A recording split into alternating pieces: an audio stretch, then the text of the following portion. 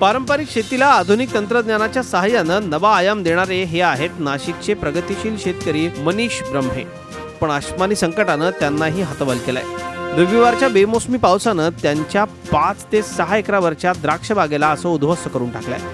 बागेत द्राक्ष मण्यांचा सडा पडलाय. वाचलेल्या द्राक्ष घडांना तडे गेलेत. ही द्राक्ष पुढच्या एक दोन दिवसात बाजारात विक्रीसाठी जाणार होती. मात्र त्याआधीच हे आसमानी संकट कोसळलंय. गारपिटीसहित भरपूर मोठ्या प्रमाणात पाऊस झाला. Around forty forty five minutes तो पाऊस होता. त्याच्यात माझा हा बाग आहे हा शंभर टक्के डिस्ट्रॉय झालेला आहे. आता याचं डिस्पोजिंग हा प्रश्न पडला आहे मला. काय हाऊ शुड आय डिस्पोज म्हणजे हे द्राक्ष मी डिस्पोज कुठे करावी? असा मोठा प्रश्न पडलेला आहे आता. नाशिक जिल्ह्यामधल्या बागलान देवळा कळवण तालुक्यातल्या कांदा डाळिंब मका भाजीपाला या पिकांनाही अवकाळी पावसाचा फटका बसलाय. हजारो हेक्टर क्षेत्र बाधित झालंय.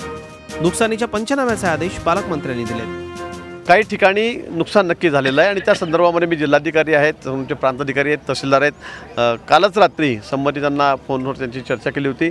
आज सकाळी त्यांना सर्वांना मी बोलून घेतलेलं होतं आणि त्यांना सूचना देण्यात आलेल्या की जे जे नुकसान झालेलं आहे त्याची त्या ठिकाणी चौकशी करा त्याची सगळी पाहणी करा त्याचे पंचनामे करा. निश्चित तसं नुकसान असेल तर त्यांना नुकसान भरपाई शेतकऱ्यांना त्या ठिकाणी दिली जाईल.